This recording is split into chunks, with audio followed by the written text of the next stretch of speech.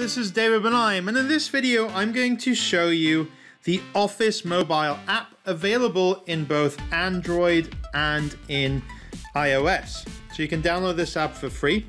Now the obvious thing that it does is you can add a Word, an Excel, or a PowerPoint document and just edit that directly from your mobile application. But what I'm going to go through more is this action stuff because this is really cool stuff. Here, for example, you can choose the transfer files button. Then it says go to transfer.office.com on my computer. Uh, max file size is 10 megabytes and I can just receive by scanning the QR code on my computer. Then it says the computer is found so I can pair the devices. Need to click that in both of them. And then I can just choose files to send. So for example, I can click some thumbnails of my YouTube videos. There you go. So that's a quick and easy way to send loads of files. In the past, I've done this through sending myself emails, but it just is way more convenient if you do want to send a large number of files like that. So let's look at this really cool stuff. This is probably my favorite, image to text. So I'm going to click on that. So what you can do is you can use an existing photo or just take a photo of say a book like this one. I'm going to just take a photo of that. Then get the perspectives right. So yeah, I only want half the page. I don't want the other side. Make it double-sided there. Done. Then it says it's processing.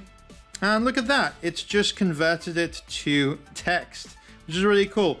Uh, it's pretty accurate as well. You can sort of see it as you go along.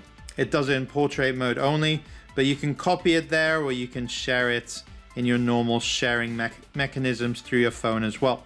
So that's a really cool one to be able to basically scan a document and convert it into text. So there's another similar feature that is to do with image to table. So here I've got a table and again, I'm going to just sort of go on the table and take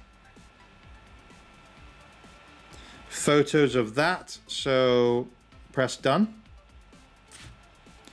And this can actually now convert it into Excel, which is pretty cool. So here you can uh, go through it and you can edit it or click open so you can go through and edit each one. Uh, the red ones are the ones that it seems might be errors so that you can check. So here you can choose to edit it if you want to, uh, or you can press ignore if you're happy with it. If I press open, it says 30 items for your review. You can review one by one as well, and then just say ignore or edit them as you need to, just manually type over that. So if I want to say that's 12, then that's okay. Just keep going. I'd probably say it's worth doing this. And then eventually it just adds it to an Excel file, which is really awesome.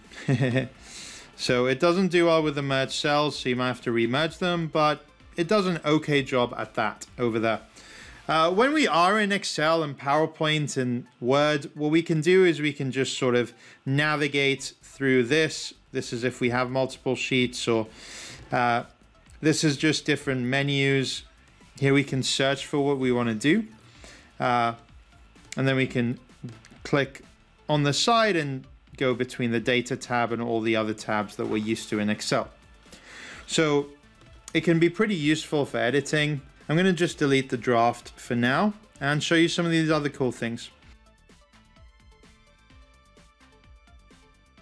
So I really like this extra stuff that says do more with PDF. So you have four options here. You can sign a PDF by just sort of choosing a document that you have. There's a signature I added earlier. So you can tap anywhere to sign. And then it has pre-built your signature. Or if you don't want that and you delete it, you can just sort of retype with your finger and draw a new one like that. Change the color if you want to another one and then press done. With this one, you can resize it, move it around. Just really, really quick and easy, especially once you've already saved your signature. Uh, other stuff you can do with PDFs is you can see it page by page there. You can go to back and forward as well, or you can search. So this is really cool. You can search for, for example, client, and then it will identify every time that it says that, even though this is a PDF, which is awesome. Uh, this is probably my favorite one of these PDF ones, actually. So this actually converts your phone into a scanner. So I'm going to click on the flash button there and use the flash because that's kind of a better way to do that. And then I've got a document here that I'm going to scan.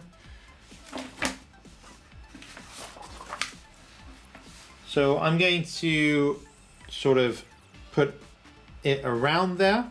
Now the trick is getting the red outline to be around your sheet of paper there.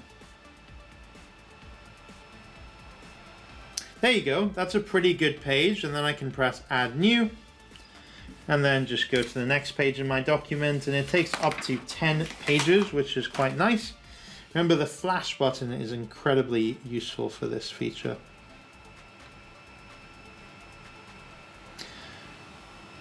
If it doesn't do it exactly, you can just sort of delete it, discard image and try again. Add new. Change the orientation to get a better scan.